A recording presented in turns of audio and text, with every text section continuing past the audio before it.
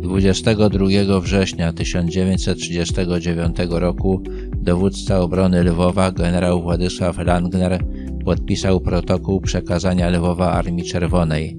Było to równoznaczne z kapitulacją miasta. Lwów bronił się przed Niemcami od 12 września.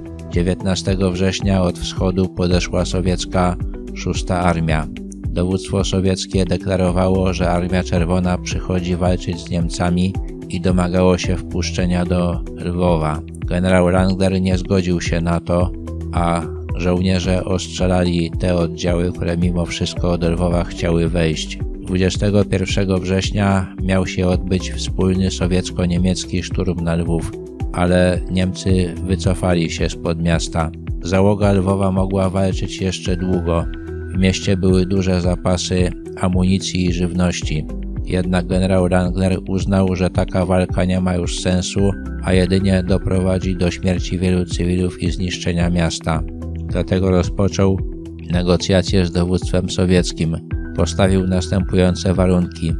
Wszystkim przebywającym w mieście zostanie zagwarantowane życie, bezpieczeństwo i własność prywatna.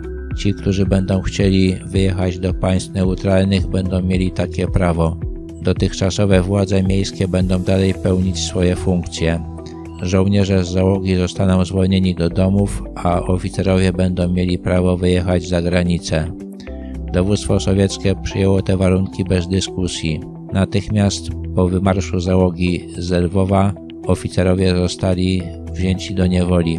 Większość z nich znaleziono w lesie katyńskim. Mordy, gwałty i rabunki zaczęły się natychmiast po wkroczeniu Armii Czerwonej do miasta. Prezydent Lwowa Ostrowski, który przeciwko temu zaprotestował w dowództwie sowieckim, został aresztowany. Jedynie generał Langner, który odleciał na rozmowy do Moskwy, po powrocie został zwolniony do domu.